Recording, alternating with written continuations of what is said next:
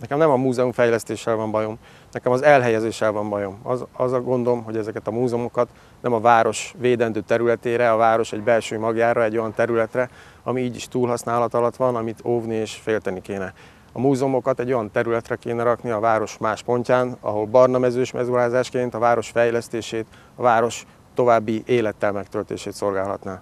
Ezt a 100 milliárdot sokkal jobban is el lehetne költeni.